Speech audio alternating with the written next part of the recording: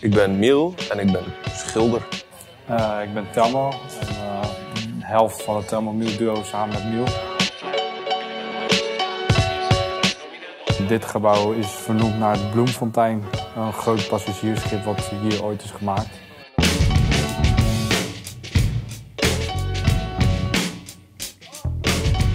Maar daarop geïnspireerd uh, zijn we nu dat oude schip hier aan het schilderen. Wij doen het sinds 12 jaar, uh, werken we samen. Uh, we hebben samen op de kunstacademie gezeten in Rotterdam. We doen 90, 95% met kwast. We deden vroeger altijd alles met spuitbus. En daar hebben we ook een beetje onze techniek geleerd. Omdat je met spuitbus heel makkelijk lichtval kan uh, suggereren. Van ja, weet je, met al die gasmaskers en, en beschermende dingen die je nodig hebt om, om met spuitbus te werken kun je net zo goed een keer met kwast proberen. En uiteindelijk deden we dat een paar keer en hebben we dat nu eigenlijk doorgevoerd tot een standaard. En werken we eigenlijk alleen nog maar met acryl. En de laatste kleine details die we nog net even wat strakker willen trekken, die doen we even met bus.